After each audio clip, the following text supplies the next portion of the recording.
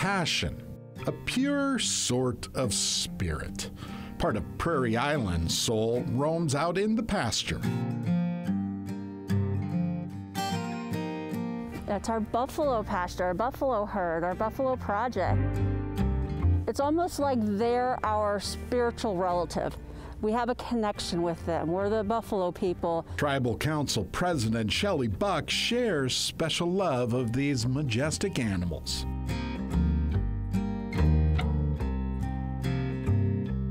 Just gorgeous creatures. I can't even explain how much they mean to us. I mean, my, my Dakota name is Many Buffalo, Pate Chota. So buffalo means a lot to me and my family. And to the rest of this community exactly why the Prairie Island people started the Buffalo Project. It's named after my dad, Edwin Buck Jr., Buffalo Project, so it makes me very proud with that. But it's something that started 20 plus years ago. We sent some uh, money out to our brothers and sisters out in the West.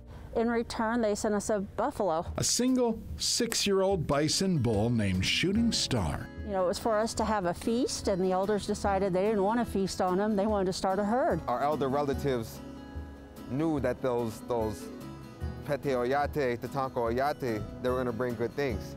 So it, it, it brought our people together. Those tribal members got what they wished for.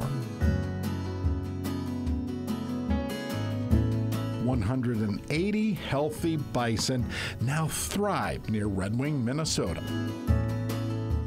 a herd that inspires curiosity. Exactly why Paul Dressen keeps busy. By the way, a buffalo is, a, is, uh, is not the correct name. It's American bison, or we say Tatanka, which is the Dakota word. Paul runs the Buffalo Project's education arm. I'd like to welcome all of you here today on behalf of our tribal elders, our tribal veterans, and our tribal council. How many Tatanka were in North America prior to European contact. About 60 million. The turn of the century, how many bison, Tatanka were left in North America? How many? 5,000. 5,000 out of 60 million. Most of those animals slaughtered for meat or erased by the U.S. Army, a means they thought that could control Native Americans. Okay, well, let's see if we can all get on one truck. Prairie Island promised to bring back bison and protect this piece of Mdewakanton Sioux culture. Chante Washte Hohiani Washte, so that means good morning to each of you with a good heart. Guests get to ride right into the middle of the herd. A moment worthy of a selfie. So what you're looking at is our combined herd now of bulls, cows, and calves. They will eat up to 3% of their body weight. So a big bull that weighs 2,000 pounds will have to eat 60 pounds of dry matter or hay or prairie grass a day to sustain itself. But the creator made their tail so short that they really can't use it to keep the bugs and the insects off.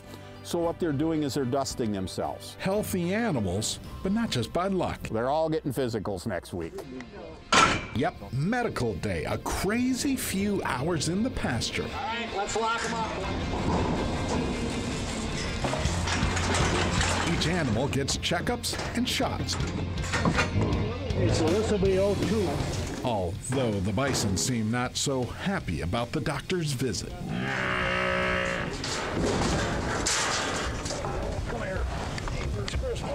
Tough, dirty work.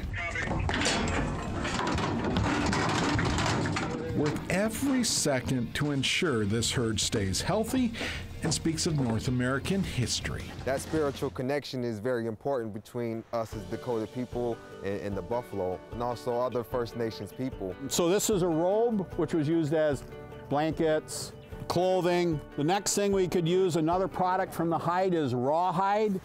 And then, of course, we have leather, which would be the third product from the hide. Kids love this colorful hand-tied ribbons might best represent the Prairie Island people's passion for these forever grand animals. They're prayer ties. They give thanks, give prayers, just a, another form of respect. We want to educate people about who we are where we come from, things that are important to us. This is one way that we can teach people about the buffalo to respect them, care for them, and to understand how important they are.